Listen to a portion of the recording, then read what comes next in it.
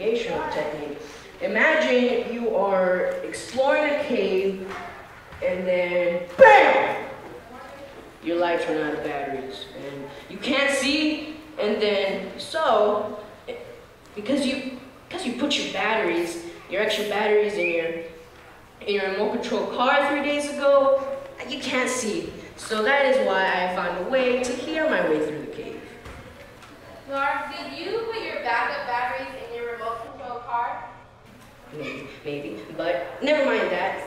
Last night I was reading about bats and how they make a sound and listen for the echo of that sound so they can determine where things are in the dark. It's called echolocation. Yeah, So you're trying to use echolocation to find your way through the cave? Exactly. Yeah, let me show you.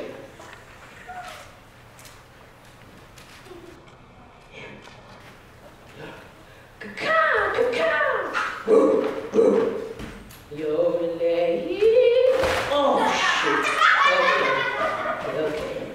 Uh, Clark, I hate to say it, but maybe you should leave the echolocation to the bats.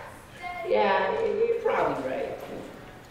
You caught us at just the right time. We're learning about how Jesus gives us direction. Jesus direction. That's right, because sometimes life can be confusing. And sometimes you don't know what will happen next. And sometimes you get all turned around and lost, but Jesus points us in the right direction. Wow, Jesus really does that? Yep. That's good news, especially for a person as directionally challenged as I am. It's good news everybody.